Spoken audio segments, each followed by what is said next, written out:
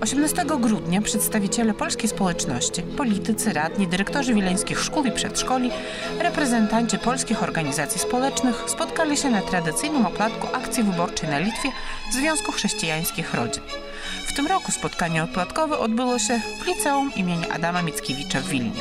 W rodzinnej atmosferze podsumowano mijający rok, cieszono się z sukcesów i snuto plany na przyszłość.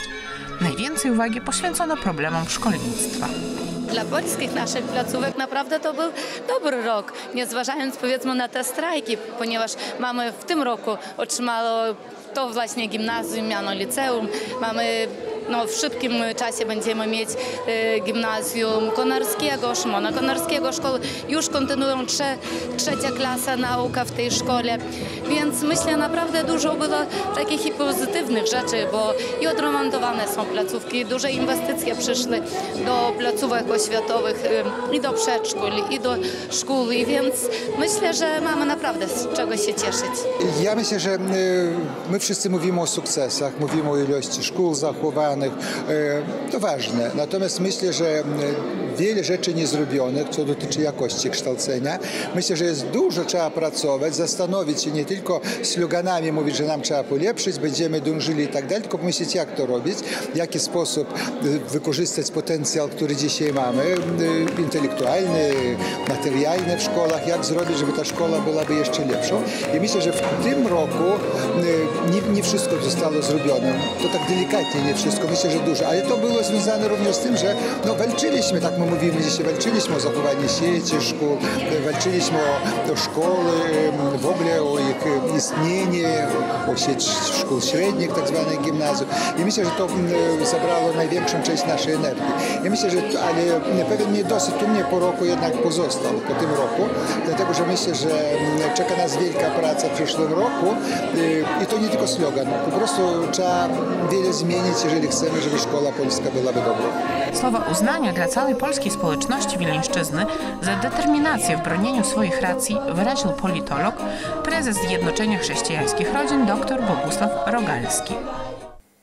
Chciałbym Państwu też podziękować za to, że dajecie przykład Polonii i Polakom za granicą, w jaki sposób powinno się funkcjonować poza macierzą.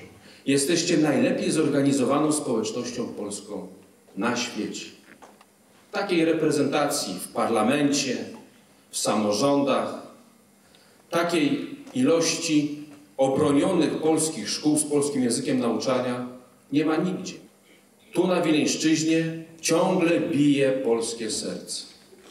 A to dzięki temu, że jest macierz szkolna, że jest Związek Polaków na Litwie i że jest akcja wyborcza Polaków na Litwie, Związek Chrześcijańskich Rodzin, że są te organizacje, współdziałają razem i wspólnie bronią interesu, interesu mieszkańców tej ziemi, tej małej ojczyzny.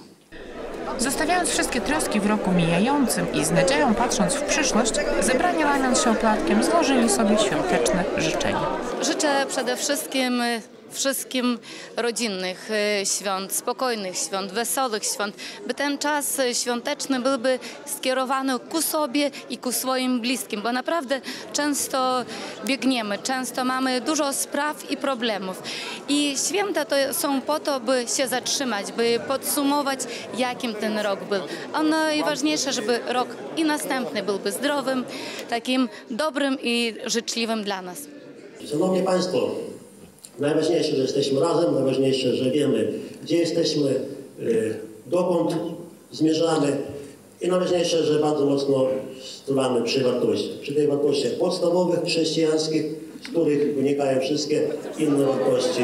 I chyba jest symboliczne, że właśnie przed świętami Bożego Narodzenia tutaj spotykamy się i obcujemy. Więc chciałbym serdecznie w imieniu akcji wyborczej Polaków na Litwie Związku Chrześcijańskich Rodzin, oczywiście własnym, złożyć najserdeczniejsze życzenia świąteczne, e, zdrowych, pogodnych, radosnych, błogosławionych świąt Bożego Narodzenia i oczywiście szczęśliwego Nowego Roku, żeby bardziej dostatni, zdrowy w Waszych rodzinach. Wszystkiego co najlepsze, szczęść Boże dla wszystkich.